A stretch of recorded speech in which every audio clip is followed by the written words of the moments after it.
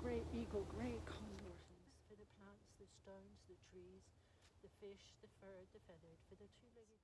In you who are the unnamable one, we thank you for bringing us all together that we may So, having chosen my place, open the directions, now I'm going to open my own personal sacred space over this piece of land that I've chosen, this spot that I've chosen or that chose me.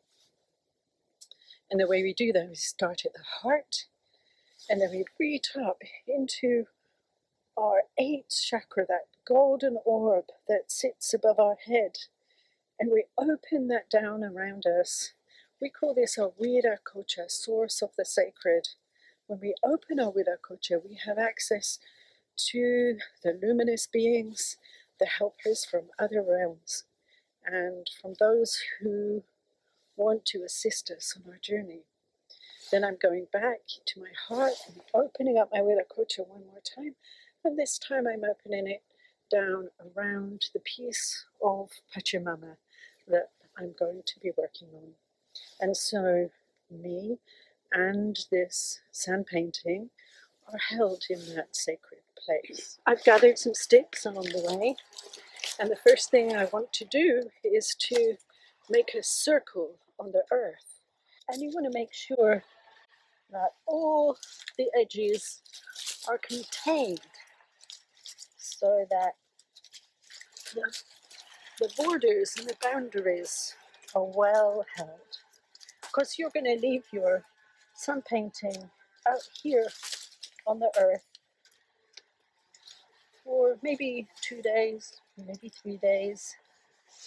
And you want to make sure that your boundaries are well in place. And then the next thing we do is we decide. And I already decided before I got here what it was I wanted to work with because one of the things that I am so with is that I, I miss the connection. I miss the connection with people. I miss sitting in circle with real people. Everything's being done on the internet. We're we're being asked to disconnect. So um, personally, I find this very not just disconcerting but disheartening. So I'm going to start with that. So I take a stick, and it can be anything, but it needs to be combustible. But a stick is a good place to start. And I'm going to blow. That feeling of being disheartened. And I can feel it right here in my heart. And so I'm going to place that down there. And now I'm going to follow that feeling because as I'm feeling that in my heart, what, what's coming up is real upset. A lot of grief and sadness. So that's going in as well. Ah, yes. So I picked up this. This is a dead leaf. Everything is dying on it. The leaves are dead. The tree has given it back. And I, I, I want it to represent for me the things that are dying within me, the old ways of being, the old paradigms, the old, the old, the old ways of doing things. Because I don't think there's a going back to normal. I think we have to give up the old, old ways we thought life would be. And so these old leaves on this twig really represent that for me. Everything's dead. And we need to give that back to the earth, just as the trees give that back to the earth. And as I do that, um, what's coming up in me is a lot of grief, grief and sadness.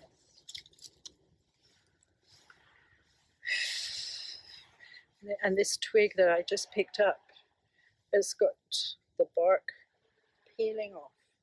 So it's like, let's peel off those old parts that no longer serve.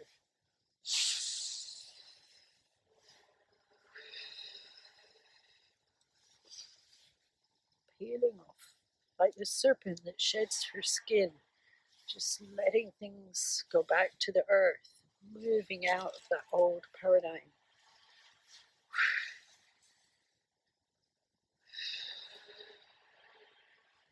And I'm beginning to feel this in my belly a real feeling of loss. Loss of a dream, maybe, loss of how I thought things were going to be, loss of the past, loss of my extended family. I haven't, this is the first year in 20 years that I haven't been away and spent time with what I call my extended family, my teams in Romania and UK, and the people that mean mean a lot to me. Not not just my extended family, of course, but my own family. So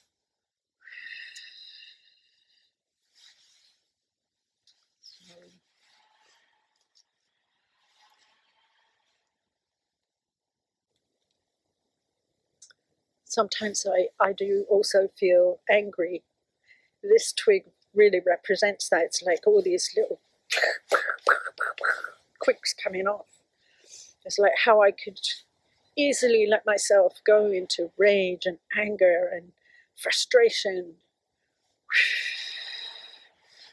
Oh, and, all the ways I'm telling myself it shouldn't be like this. We shouldn't be doing this. We shouldn't be saying yes to wearing masks. We shouldn't be saying yes to distancing ourselves, not just socially, but emotionally as well.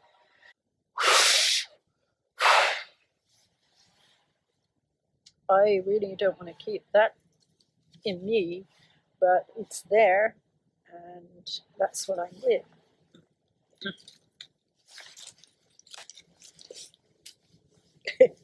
And this one's the same. This twig, it's got lots of spiky bits.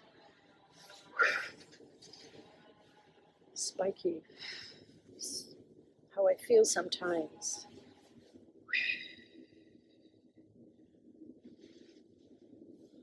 And as I connect beyond the spiky, angry bits, what I'm also feeling is that conflict between doing as I'm told. You know, we all learned as we grew up do as you're told. Or I did anyway. Most of us learned that do as you're told. Compliance that we've all gone along with because we want to be loved, we want to be liked, we want to be approved of, we don't want to be different. But we are different. Every single one of us is unique.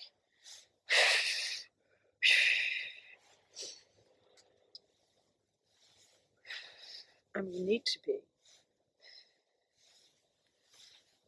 And there's a great big stick here. The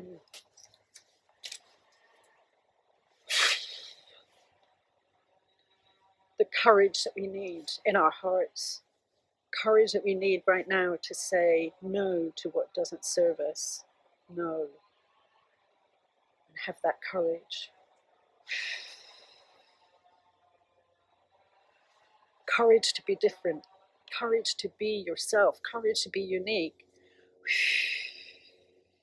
And I'm calling up that in myself, in my heart, also in my belly, and, up here in my throat. So I'm following those feelings that are coming up in my body and, and just blowing that in and putting that, that's going right through the center of my sand painting. It's like, yes. This is just a quick example of, of how we do this, and I'm going to show you my sand painting so you can see it's, it's not perfect.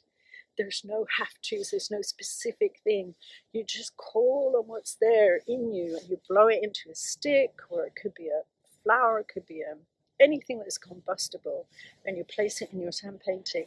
And then you're going to leave it for Mother Earth to mulch it and work with it because you don't know. Maybe the wind will come and give you a gift. Maybe something will grow up in the center of your sand painting that you didn't see before. Maybe an animal will come along and, and, and give you a gift of an acorn or something that wasn't there before. or maybe the wind blows blows some of it away, and we don't know. But what's really important is to get it out of here and onto the land. So I'm going to show you what this sand painting of mine looks. So here you can see my sand painting, the circle that surrounds the edges, and then the things that I placed in the center that I blew into. And yeah, I could go on uh, with some more things, and I might well do that. But for the sake of this video, um, that's now I finished what I want to do with my sand painting, and or at least for the time being. But I can always come back and add to it if I if something else bubbles up that needs to be expressed. And that now what I'm going to do, I'm going to walk away, and so I pull my Viracocha off of my sand painting back up to that golden orb above my head. And then I'm closing my own and pulling some of those threads down from Viracocha, source of the sacred, to inform all of my chakras. So this is how to make a sand painting and do give it a go. It's such a beautiful thing to do and so healing. When I arrived in the woods, I felt heavy, heavy hearted, and and with a lot of upset uh, and and anguish and in in my body. And now, having given it to the earth, I feel much lighter and more able now to to feel uplifted and to uplift others, which is what we're all here for. So I hope that you you give an opportunity to yourself to do this, um, especially over the time that we're coming to. This is really important. And nature, Mother Nature, Pachamama, she will support you as she will all of us as we all go through this great transition that we're going through. So thank you for being with me and